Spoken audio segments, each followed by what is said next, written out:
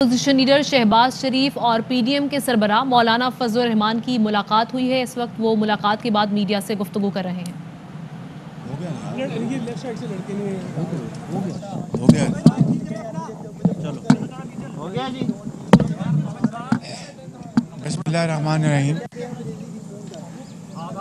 मैं हज़रत मौलाना फजल रहमान साहब का तय दिल से शुक्रगुजार हूँ कि आज वो मेरे पास तशरीफ़ लाए।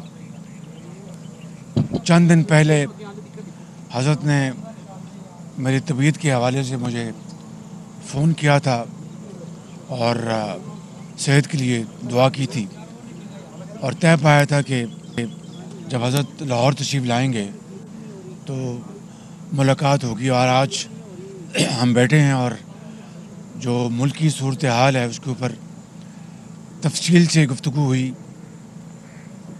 पी डी एम के इतिहाद के हवाले से गुफ्तु हुई।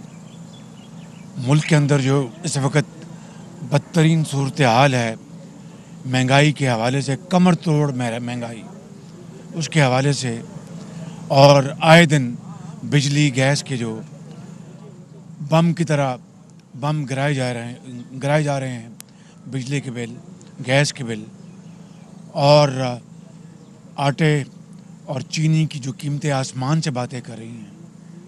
लाखों लोग इस वक्त बेरोज़गार हैं। डेंग, डेंगी ने तबाही मचाई हुई तबाही। और इस वक्त अस्पतालों में बिस्तर नहीं मिल रहे मरीज़ों को।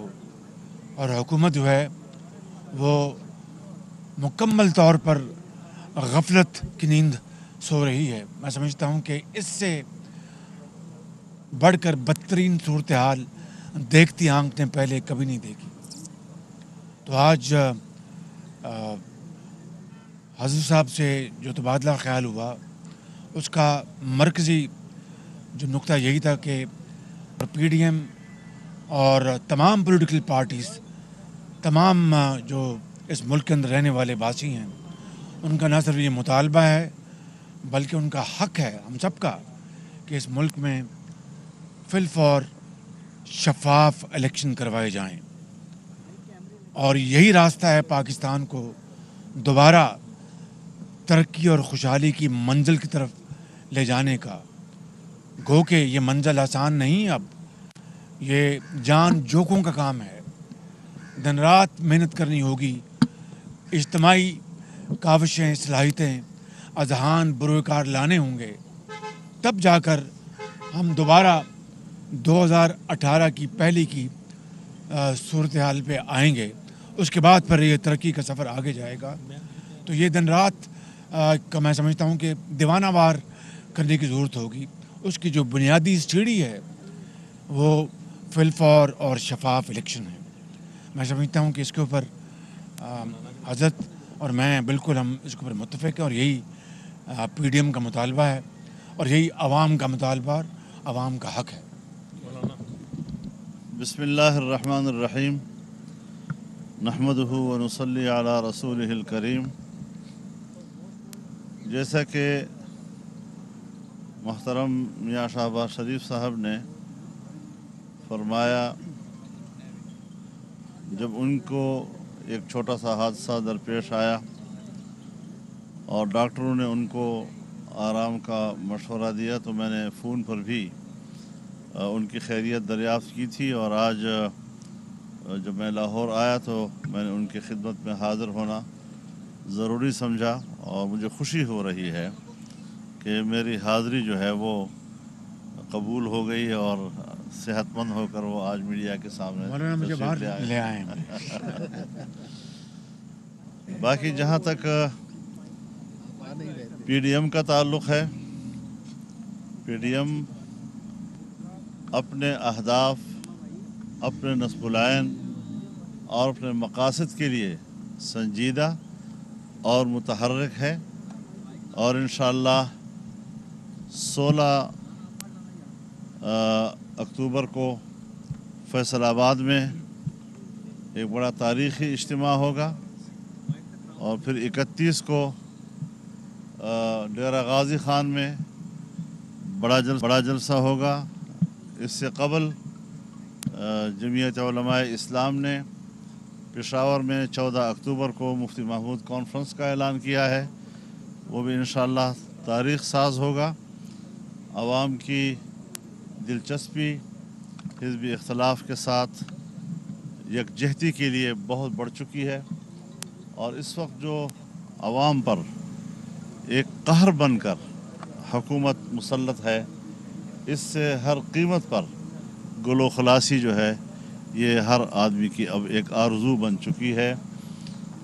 इस एतबार से फौरी इलेक्शन, ये अब पाकिस्तान की ज़रूरत है। और आप देख रहे हैं, जहाँ तमाम इदारे तबाह हो चुके हैं, और हर इदारे के लोग आज सूबाई हेड क्वार्टर्स में अभी जो अदालती कत्ल हुआ है मुलाजमीन की मीशत का, और जिस तरह हर सूबाई दारकूमत में मुलाजमीन जो बरतरफ किए गए हैं, वो मुजाहरा कर रहे हैं और अपनी मीशत की बहाली और रोज़गार के लिए तड़प रहे हैं, हम उनके साथ यकजहती का इजहार कर भी चुके हैं और अब भी उनके साथ खड़े हैं। डॉक्टर्स हैं इस हैं, वकला हैं, ज़मींदार और किसान मज़दूर हर तबका इस वक्त मुश्किल की हालत में है और आम गरीब आदमी जो महलों में रहता है, वो बाज़ार से अपने घर के लिए अनाज ख़रीदने और रोज़मर्रा की अशिया ख़रीदने के काबिल नहीं रहा है। तो इस सारी सूरत हाल से हमने मुल्क की मीशत को कैसे निकालना है, किस तरह उसके ऊपर उठाना है, ये बहुत बड़ी एक संजीदा सूरत हाल है। और अभी हम पूरे मुल्क का हम मुल्क के इदारों का रो रहे हैं, मुल्क के अवाम का रो रहे हैं। आजकल आप देख रहे हैं कि फ़ौज जैसा इदारा, जिसको हम हर वक्त ताकतवर और मुनज़म देखना चाहते हैं और इसको हम रियासत पाकिस्तान और इसकी दिफा की ज़रूरत समझते हैं। दो चार रोज़ से जो ख़बरें इस वक्त चल रही हैं तो जो यूनिटी ऑफ़ द कमांड हैं, माशाल्लाह उसकी सलाहियतों का, सारी कौम इस वक्त शहबाज शरीफ और मौलाना फजल रहमान मीडिया से गुफ्तु कर रहे हैं, जिसमें शहबाज शरीफ ने कहा कि मुल्क में फिलफौर शफाफ इलेक्शन कराए जाएँ। पीडीएम का यही मुतालबा है, जबकि मौलाना फजल रहमान ने कहा कि पीडीएम अपने मकासद के लिए संजीदा और मुतहरक है। दोबारा इस सूरत हाल में इन हमने मिलकर आगे बढ़ना है और मेरी दुआ होगी कि बच्ची कुछ अभी तक जो तबीयत में कमज़ोरी है अल्लाह ताला वो भी दूर फरमाए। शबाज साहब साहब आपसे आप आपने कहा कि आपको मौलाना भाई एक मिनट एक मिनट शबाज साहब आपकी मुलाकात उस मौके पर हो रही है। इसला, एक तरफ़ इस्लामाबाद की मौलाना ने थोड़ी सी बात भी कर दी कि वहाँ पर थोड़ी सी हालात टेंस हैं और यहाँ पर आप जो बात करें। आपने अपनी बात में ही कहा कि आपको मौलाना बाहर ले आए। क्या मुस्तकबिल में नहीं क्या मुस्तकबिल में मौलाना अगर लॉन्ग मार्च की तरफ़ जाते हैं क्योंकि लग यही रहा कि पीडीएम तो जाएगी तो क्या आप बहसीत सदर पाकिस्तान मुस्लिम लीग नून इनके साथ जाएँगे तो या लास्ट तो, टाइम की तरह जाएँगे? मैं तो पहले ऐलान कर चुका हूँ कि महँगाई के खिलाफ हमें इस हुकूमत के खिलाफ मार्च हर सूद करना होगा और इस हुकूमत को हमें अपना सियासी और कानूनी हक इस्तेमाल करते हुए इसका मुहासबा करना होगा।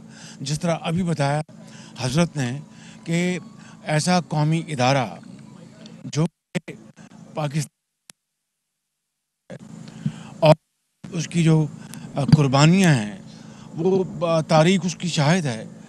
मोदी इस इदारे के वकार को नुकसान पहुँचाने के लिए वो काम नहीं कर सका, जो कि इमरान खान न्याजी जो दिन रात यूटर्न मारते हैं, उन्होंने जिस तरीके इन, से इन नाजुक मामला को हैंडल किया है वो इंतहाई काबिल अफसोस है। बहुत शुक्रिया आपका।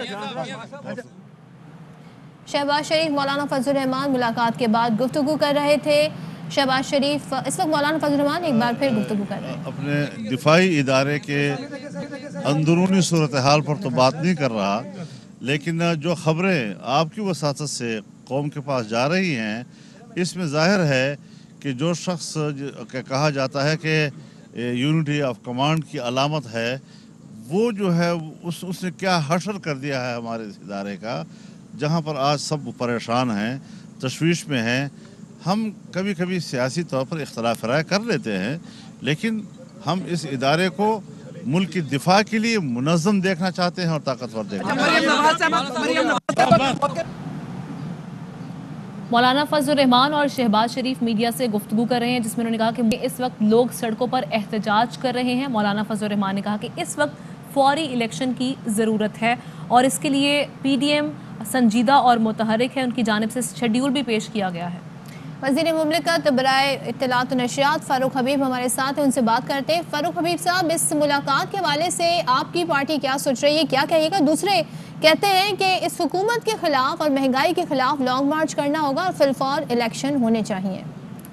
देखिए पहली बात तो ये है कि शहबाज शरीफ को चाहिए कि वो अपनी पहले पार्टी में इंतबात करवाएँ, ताकि ये तो पता चले ना कि वो पार्टी के सदर हैं या मरियम सफदर पार्टी की सदर है। दूसरा जो बुनियादी मामला है कि इनको फौरी इंतबात का जो ख्वाब आ रहे हैं इंतबात तो अपने वक्त के ऊपर होंगे। इन्होंने सियासी बेरोजगारों की मुलाकातें जो हैं वो होती रहती हैं। इन्होंने पहले भी एहतजाज किए, अदम अतमाद की धमकियाँ दी, इस्तीफ़ों की धमकियाँ दी लॉन्ग मार्चिस किए सब कुछ ब्लैकमेल करके इन्होंने देख लिया, लेकिन अवाम ने जो है इनको मुस्तरद किया। अवाम क्यों निकले? इनका एजेंडा तो अपनी चोरी बचाना है। इनका एजेंडा तो ये है कि हमारे केसेस से किसी तरीके से हमें जो है वो छूट मिल जाए। अब शहबाज शरीफ के ऊपर सात अरब बत्तीस करोड़ रुपए की टी का जो है वो केस है, नैब का रेफरेंस दायर हो चुका है। पच्चीस अरब रुपए की एफ़ आई ए तहकीकत के खिलाफ कर रहा है। उसका ये जवाब देते नहीं है। वहाँ ये पेश होने को तैयार नहीं होते। यहाँ जो है वो हुकूमत को ब्लैकमेल करने के लिए इस किस्म के इकदाम करते रहते हैं। मैं समझता हूँ कि हम इनकी बातों को जो है ना अब आवाम से लेकिन फ़ारूक हबीब साहब अगर जिस तरह से मौलाना फजल रहमान कह रहे हैं कि हम अपने मकासद के लिए संजीदा भी हैं और मुतहरिक भी हैं अगर वाकई लॉन्ग मार्च की तरफ़ जाते हैं तो आपकी तैयारी है इससे निपटने के लिए? देखें कौन सा लॉन्ग मार्च इन्होंने करना है? इनका तो क्विक मार्च हो चुका हुआ है पहले फजल रहमान को तो जो है उनके हल्के के लोगों ने मुस्तरद किया। फजल रहमान साहब का जो मकासद है उनका मकसद होता है कश्मीर कमेटी का हसूल। उनका हसूल होता है कि उनको वो पेज एंड वर्क मिल जाएँ जो पुरानी याशियाँ उनकी मिली हुई थी। ये पहली हुकूमत आई है जिस हुकूमत के अंदर फजल रहमान साहब को पाँच साल जो है वो बेरोजगारी के अंदर गुजारने पड़ रहे हैं। तो ये मुश्किल काम है उनके लिए। इसी अच्छा। वजह से जो है वो इस किस्म की टामक टोइयाँ जो है वो मारते रहते हैं।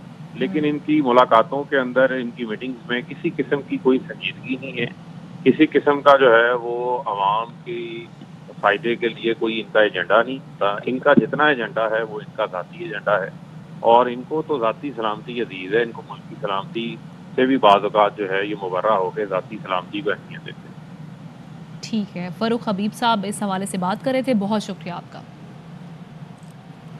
न्यूज़ स्टूडियो से फ़िलहाल इतना ही। किसी भी खबर की तफसील जानने के लिए विज़िट कीजिए हमारी वेबसाइट ए आर वाई अहम तरीन खबरें अब एक क्लिक की दूरी पर।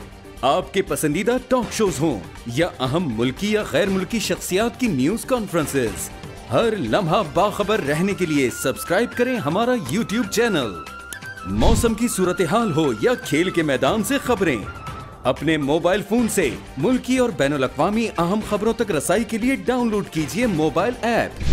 बावसूख जराये से मुसदा खबरों, तजियों और तबसरों से मुस्तफ़ होने के लिए विज़िट कीजिए पाकिस्तान की सबसे बड़ी न्यूज़ वेबसाइट, www.arynews.tv इन सब के अलावा पाकिस्तान का सबसे बड़ा फेसबुक पेज हो, सबसे बड़ा न्यूज़ इंस्टाग्राम अकाउंट या फिर Twitter A R Y news पहुँचा रहा है खबरें। सबसे पहले आप तक, ताकि आप रहें हर लम्हा बाखबर।